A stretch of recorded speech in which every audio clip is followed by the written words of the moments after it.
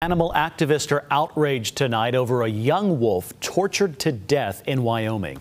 And we do want to warn you this video may be disturbing to some.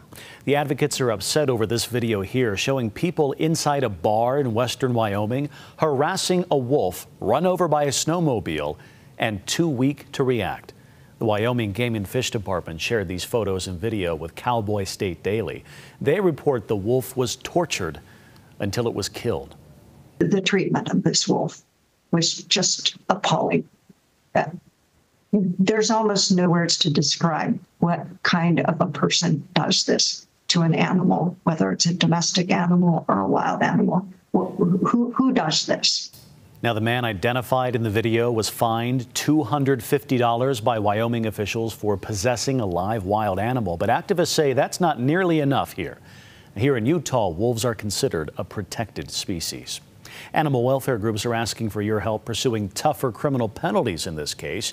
They're offering a $20,000 reward for any video or photos showing what happened.